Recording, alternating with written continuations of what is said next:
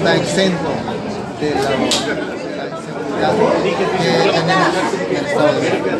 Sí, hay, hay, hay muchos compañeras lamentablemente están en esta situación.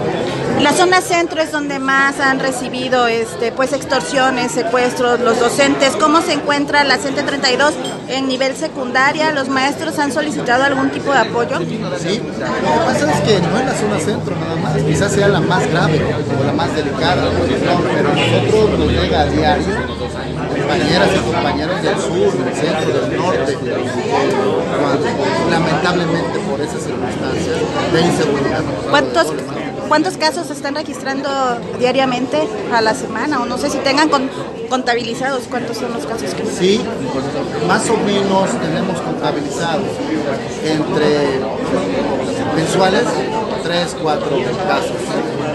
Es preocupante aún así con la llegada de la Guardia Nacional a, a Veracruz, se siguen dando estos, estos casos. Desgraciadamente no ha parado, parado para los compañeros, lamentablemente.